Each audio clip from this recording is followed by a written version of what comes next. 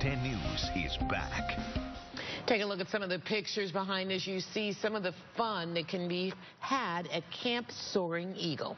And today, a group of CrossFit enthusiasts sweating it out to help them out. And members of CrossFit Arms in Surprise raising money for Camp Soaring Eagle, which sends seriously ill kids from Arizona to camp. This group of CrossFitters at CrossFit Arms cheering each other on while competing in a grueling competition. People who wanted to do the workout paid $30 and all the proceeds will go to the nonprofit organization Camp Soaring Eagle. In the audience today, a 13-year-old who was diagnosed with cancer at about six years old is now cancer-free and he'll be one of many kids who will be attending an upcoming camping trip.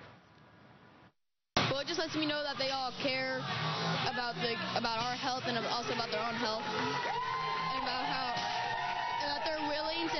to pay to help us have a has a great life.